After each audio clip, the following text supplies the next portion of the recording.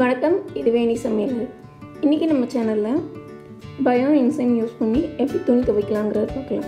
இந்த பயோ என்சைமை நீங்கள் ரெடி பண்ண ஆரம்பிச்சிங்களா இந்த நம்ம பயோ என்சைம் நம்ம தயாராக 90 டேஸ் ஆகும்.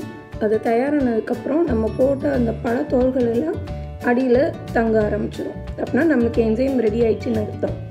இப்படி ரெடியான என்சைமை நம்ம வடிகட்டி அந்த கிளியர் லிக்விடை நம்ம வந்து துணி துவைக்கிறதுக்கு யூஸ் பண்ணலாம்.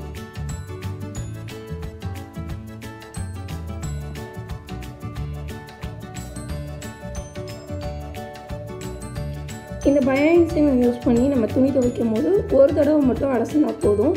நம்மளுக்கு தண்ணியும் மிச்சமாகும். சென்னையில் இன்றைக்கி பல இடங்களில் தண்ணி இல்லை. இதனால் நம்ம தண்ணியை சிக்கனமாக யூஸ் பண்ண முடியும்.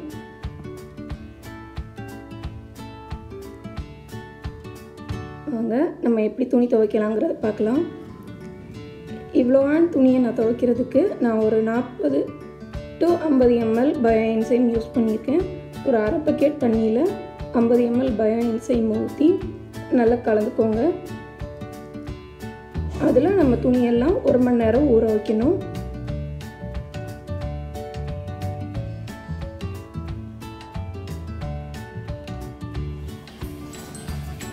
நம்ம ஷர்ட்டில் உள்ள கா காலரில் உள்ள அழுக்கெல்லாம் வந்து போகணும்னா அதில் பயோ லைட்டாக தடவி விட்டு ஒரு மணி நேரம் ஊற வச்சுருங்க.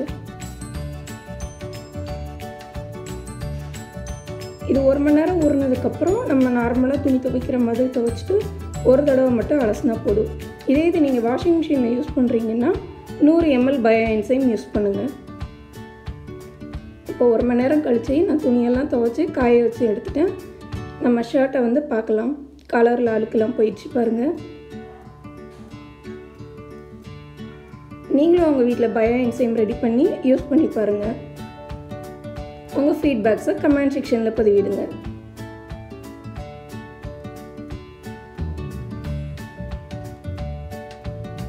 நன்றி.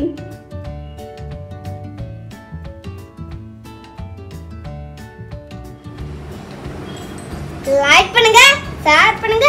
வேணுமா சமையலரை சப்ஸ்கிரைப் பண்ணுங்க.